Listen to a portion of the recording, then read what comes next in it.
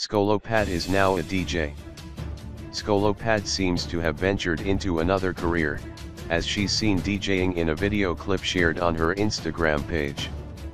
The nurse who is also an actress shared photos of herself having a good time while playing a set in an enclosed space. She looked excited in the snaps but captioned it by saying being a DJ isn't easy.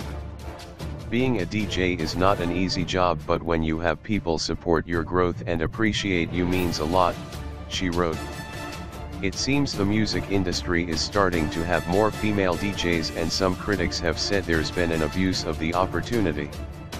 In other news, Skolopad had mental health issues a few months ago, and she checked herself into a rehabilitation center, but she's now out and living her best life.